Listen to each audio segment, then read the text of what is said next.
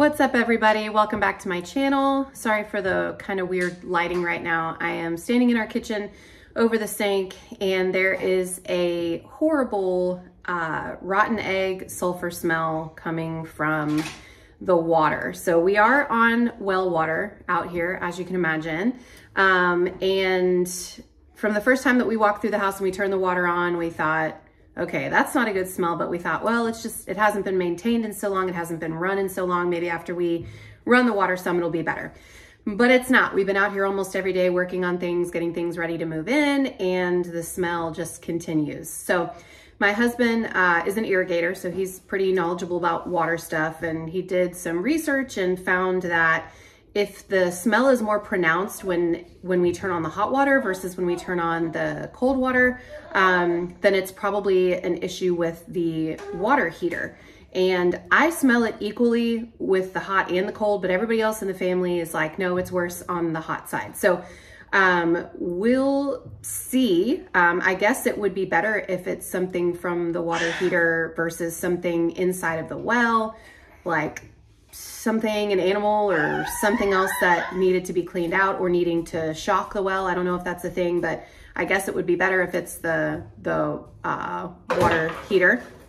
Um, and then also the kids said that the water faucets that are out along the property line, um, the water doesn't smell coming out of those. And those are tapped directly into the well. They're not coming through the water softener or the heater. Sorry, the baby's in the background playing with a water bottle.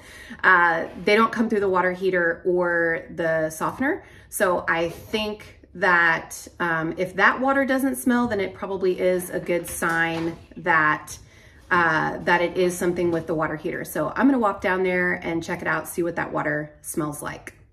So we're gonna go out to one of the little faucets that come straight from the well and see what that smells like.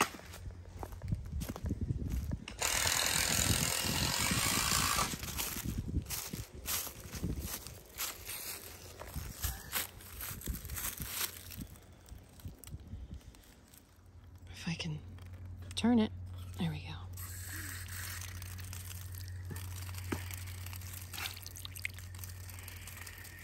Mm.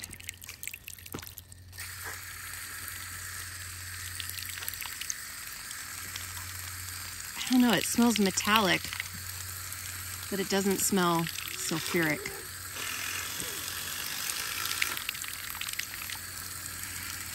Yeah, I don't think that's... What? What? Quite the dog crew we've got going on here. Are you happy, Poodle? Are you happy? So because the smell is only coming from the faucets that are inside that go through the hot water heater and the water softener, um, and not coming from the faucets that are directly tapped into the well outside. My husband was able to figure out the reason for the sulfur smell is uh, something called the anode rod that's inside of the water heater. So there's some kind of chemical reaction. Um, the anode rod, the purpose of that rod is to attract corrosive materials or molecules so that the rod will corrode, but the tank itself won't corrode.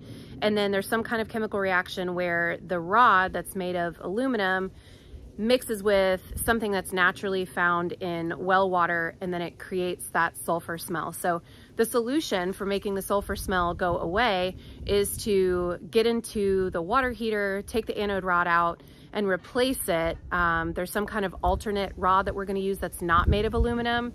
Um, it has to have a charge to it, so I'm not positive how all of that's gonna work yet. That's way above my head, but that is hopefully the solution to getting the sulfur smell to go away. Um, it's pretty bad. It's not dangerous, as we understand, but um, I mean, we're not drinking the well water anyway, but it's just so overwhelming, the sulfur smell is, that you wouldn't want to take a bath in it. You wouldn't want to shower in it. I've washed a few dishes in it, and then somebody walks inside the house and is like, oh, it smells like rotten eggs or like farts is what my kids say. So we want to get that smell to go away as soon as possible. So that's what we're going to be doing is working on uh, replacing the anode rod in the hot water heater.